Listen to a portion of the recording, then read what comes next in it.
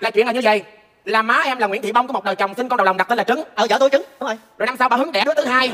Mặt trai tâm hồn gái bay qua thái đổi tên là Sen. Quay gì đánh ghen giùm cho bà má bởi vì chồng bà má là có vợ thứ hai. Là mẹ tên Mai có con là Thí nhỏ nó bắn ma Tí nó bị tạm giam. Ờ cái gì? Gái thế giờ gia đình tôi chưa thấy cô ở đâu ra được quen chỗ nào. Ủa chưa có em hả? Chưa. em kể lúc nào đây? Vậy là bà mai của con tên thúy bán ma túy bị tạm giam. Rồi em bán bánh cam em nuôi chị Thí cái hai chị em tâm đầu hợp ý kết nghĩa chị em suy ra là em là em của chị Trứng. Tổng tổng tổng vào đây. Con trai đòi ăn thịt à, năm chỉ kho cho nên mình làm cái món à, thịt kho này nha. Mà trước khi kho thì mình cũng đã chiên thịt sơ qua rồi mình mới kho, rồi mình để xả với gừng rồi vô cho nó kho mắt cũng sắp xong rồi ha. Cái này là mình kho, nó cũng gần cạn nước rồi nè. Nói là kho nhưng mà mình làm nó cũng à, vừa vừa, không mặn quá. Kho cho nó mềm cái miếng thịt này ra luôn á.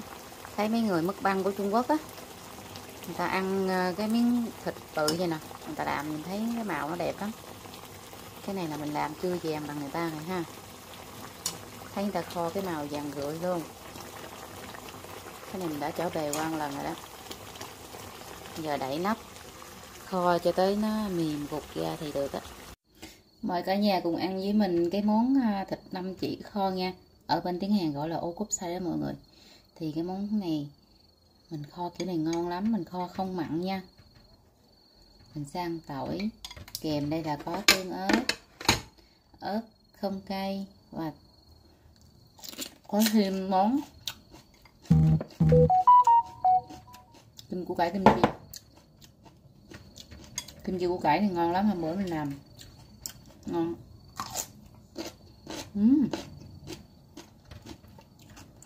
đó không có cay. Thịt năm chỉ dân bự thì mới ngon à. Uhm kim chi không mặn luôn ngon uhm. uhm. ngon quá